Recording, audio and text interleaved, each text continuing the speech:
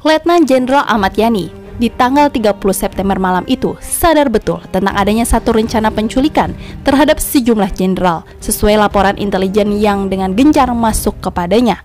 Namun ia tidak mengetahui secara definitif kapan itu akan terjadi.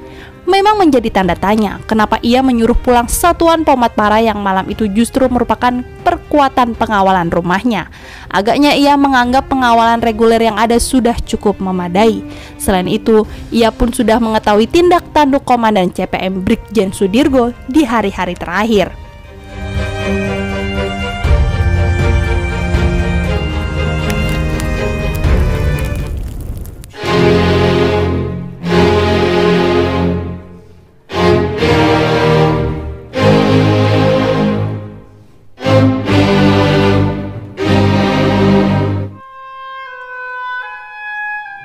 Siang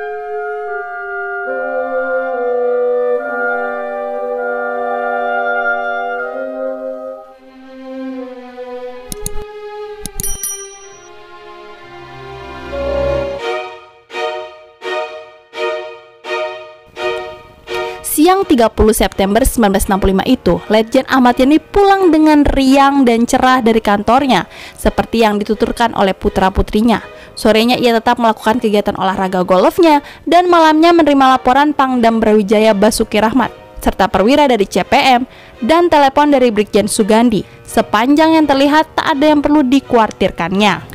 Sikap gembiranya pada siang hari itu tidak bisa diabaikan, pasti ada penyebabnya. Dan itu terkait dengan berita baik terkait rencana pertemuannya esok pagi dengan Presiden, bahwa ia mungkin saja akan diganti sebagai Menteri Pang Ade. Ditegur keras, namun sebaliknya ia akan naik ke suatu posisi yang lebih tinggi, walau posisi baru itu tidak memiliki nilai komando dan akses kepada pasukan.